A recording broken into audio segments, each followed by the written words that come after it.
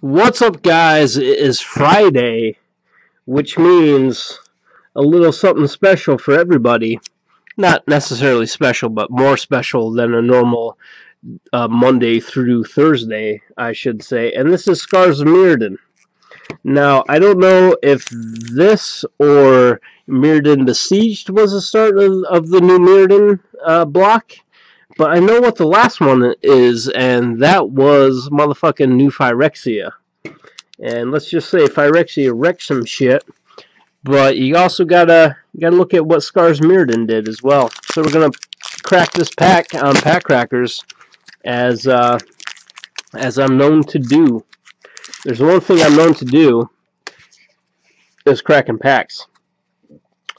And to Starty McWarty out I got a Vulshok replica. Blight Mamba. Uh, it's not Mambo number 5, as uh, many people think it is, but it's Blight Mamba. Our Auriok replica. A Tel-Jilad Defiance. Most defiant of all Defiance. Uh, Neurok Invisimancer. This is a good card because it's unblockable. Uh, Flight Spellbomb. Got Azuri's Archors. Whoop, easy, easy, easy. This is great for a blue-green or a blue, maybe, maybe blue-black kind of uh, infect deck because this has proliferate. It's steady progress. Uh, you can not only proliferate but also draw a card, which is definitely helpful. Uh, followed by a Nihil Spellbomb or Nihil Spellbomb, Nihilism. I got a Dross Hopper, hopping that Dross. And a bit of that Dark Slicks Drake, easy for me to say. That's my first uncommon. Uh, it is a 4-drop uh, Drake creature. It has flying, and when this is put into a graveyard from the battlefield, draw a card. It's 2-4. Next uncommon is Trigon of Thought, a 5-drop artifact. When it enters the battlefield, it enters with three charge counters on it. I can pay two blue and tap to put a charge counter on this, or I can pay two colorless, or any color, I guess, uh, to tap and remove a counter from Trigon of Thought and draw a card. Good if you need some card draw in your deck. Then I got a Myr Galvanizer, a 3-drop Myr Artifact Creatures, 2-2.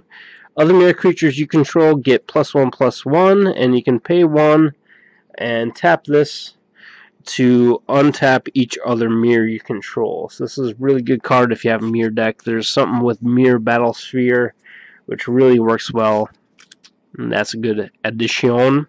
Then I got a Necrotic Ooze. This is one of my favorite uh, uh, non, I guess technically Phyrexia, but not really Fire Phyrexia uh, cards from the set. Uh, Necrotic Ooze, it's a 4-drop uh, ooze creature. It's 4-3, and as long as this is on the battlefield, it has all activated abilities of all creatures in creature cards in all graveyards. So in other words, if your opponent has a creature card that has tapped to add a green mana, like Llanowar Elves, uh, this also has that.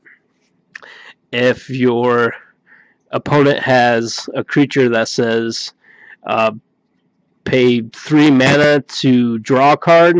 And this creature also has that if it's in the graveyard. So this is a pretty versatile uh, card if you have like a big multiplayer game going on.